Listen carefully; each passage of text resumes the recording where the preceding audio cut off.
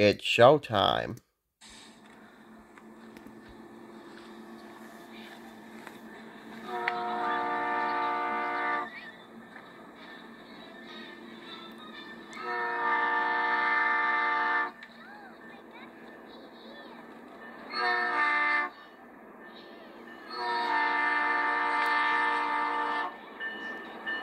That's just the wind.